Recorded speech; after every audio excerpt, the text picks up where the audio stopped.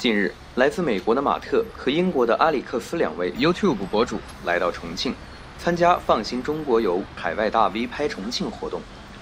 他们在重庆深度体验十天，用镜头向海外展示重庆的美食、美景以及城市发展新风貌。马特和阿里克斯已在中国浙江生活多年，这次来重庆，他们印象中最深刻的是重庆的现代都市气息。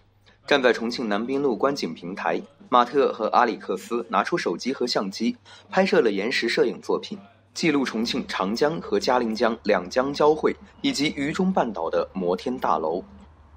呃，这里这里特别漂亮，非常漂亮，是这里的呃比别的其其他的城市是很不一样的，是因为很多山也很多很有意思的地方。七年前，阿里克斯来过一次重庆，当时他是参加朋友的婚礼，在重庆停留时间不长。再次来到重庆，阿里克斯花了十天的时间来深度体验。他走过重庆的大街小巷，对城市的发展变化发出阵阵惊叹。The city itself, like downtown here, is very futuristic, but look going around all the small streets and seeing all the people and seeing the small shops and all these little businesses they have, smelling that like the like the smells of the really spicy foods and stuff. It feels very traditional. So it's like it, it's like Chongqing for me is like 50% futuristic, 50% very traditional and kind of it has that like deep rooted like traditional kind of culture feel to it. It's kind of nice. Um, yeah.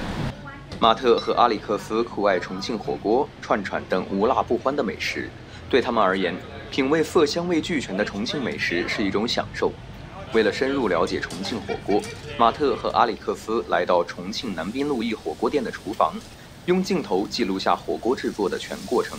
拍摄完制作过程，接下来就是品尝火锅。马特和阿里克斯想挑战一下自己，他们点了中辣火锅。中了，中了可以，呃，中了很辣，很辣，但是也可以，是吃吃火锅是应该是很辣的。